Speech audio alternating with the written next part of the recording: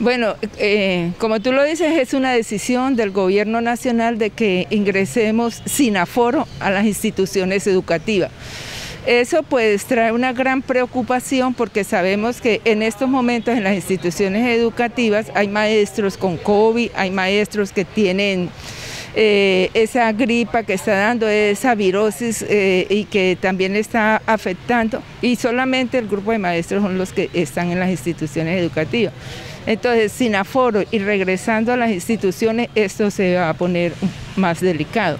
Es lo que pensamos nosotros y por eso es que a nivel nacional la FECODE ha planteado que eh, la bioseguridad sea efectiva, que tengamos las instituciones educativas, la infraestructura sea adecuada y sabemos que Barranca Bermeja eh, por muchos años ha tenido la falencia en las instituciones educativas, en la infraestructura.